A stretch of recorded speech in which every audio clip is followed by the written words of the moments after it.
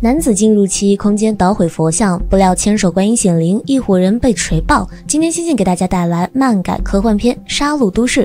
阿纪是一名没出息的职场社畜，下班之后，他像往常一样来到地铁站等车，不料却碰到有人晕倒在铁轨上。而是好友加藤下去救人，阿纪却不敢上前。眼见列车越来越近，加藤却被困在轨道上。阿纪鼓起勇气上前拉他，不料却被加藤拉下了轨道。列车迎面驶来之后，两人便发现他们来到一间白房子里头。房子里有一个黑色圆球，还有许多其他人也被传了过来。大家相互一打听，发现过来的人都是死去的人。他们是来到了死后世界吗？就在众人争论的时候，女主角短发妹也被传了过来。接着，黑球上开始出现文字，想要回去的话，就得完成任务。这次的任务是干掉聪星人。任务一发布，黑球就自动弹开，里面坐着一个沉睡的光头男，还有很多写有众人名字的黑箱。黑箱里面装着武器和战斗服。就在众人懵逼的时候，传送再次启动，一票人便被传送到了任务区。这时，小霸王站了出来，他告诉大家，他们所处的地方其实是虚拟空间。遭遇意外之后，他们的大脑并没有死亡，而是被研究所连上了脑机接口。通过数字成像，研究所将他们的大脑活动做成了一档电视节目。完成任务的话，还能获得丰厚的报酬。小霸王刚说完，聪星人就冒了出来。聪星人长着一张娃娃脸，手上还拿着一根大葱。一伙人为了报仇，向聪星人开枪，直接把聪星人给打爆。就在此时，鬼面聪星人冒了出来。鬼面聪星人一出场，就哗啦啦送一票人领了盒饭。最后只剩下加藤活了下来。短发妹穿着战斗衣救下了加藤。之后，聪星人又盯上了阿纪。眼看阿纪就要嗝屁，小霸王却从背后杀到，解决了聪星人。聪星人嗝屁后，四人被传回了房间。眼镜叔由于没有完全死去，也被传回了房间。黑球上开始显示任务分数，只有小霸王一人拿下了五分。这个分数有啥用？小霸王并没有告诉他们，唯一知道的是这台黑球被叫做 Gans。任务结束后，阿基发现自己被传送回了跟现实一样的世界。女同学小岛和他打招呼，阿基却还在想着昨晚的事情是不是做梦。晚上，阿基去探访加藤以前的老家，不过加藤已经不住那里。半路上，阿基遇上了短发妹，短发妹无处可去，来到阿基家借宿。她告诉阿基，因为和男友分手，她一时想不开，最后选择了割腕自杀。看来昨晚发生的那些事都是真的。随着众人陷入睡眠，他们又被 Gans 传来了房间。房间里还出现了一些新成员。接着 Gans 发布任务，这次要消灭的对象是田中星人。阿纪第一个被传送到任务区，田中星人正在那里等着。别看他长着一副玩偶相貌，战斗力却十分强大。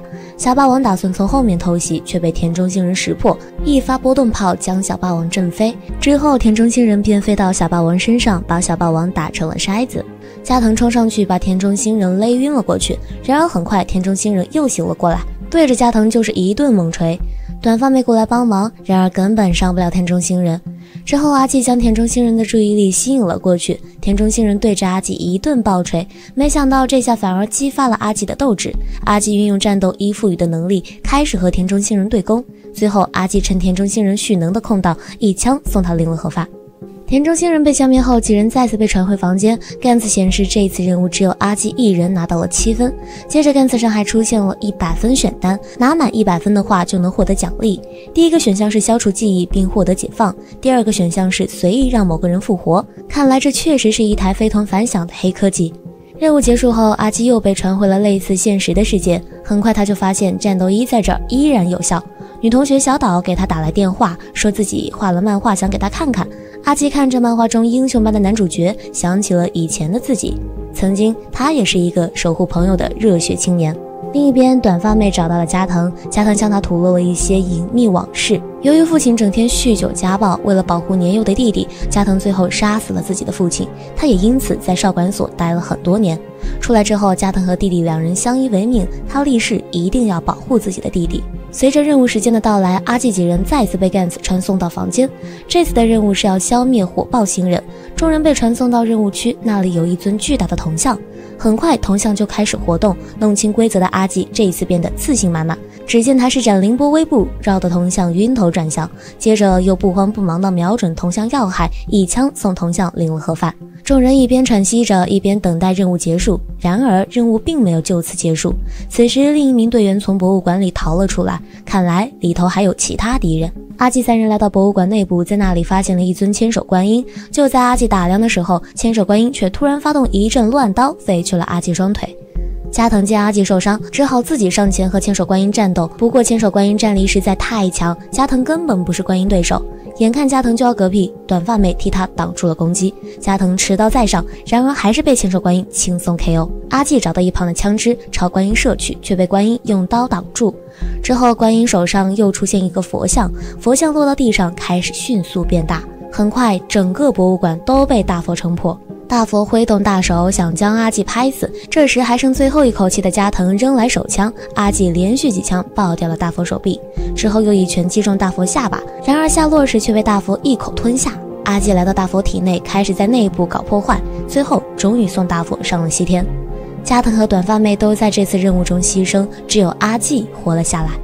第二天，阿基又回到了正常生活。他和小岛一起去坐地铁，碰到小孩帽子掉进铁轨，阿纪跳进铁轨替小孩捡回帽子。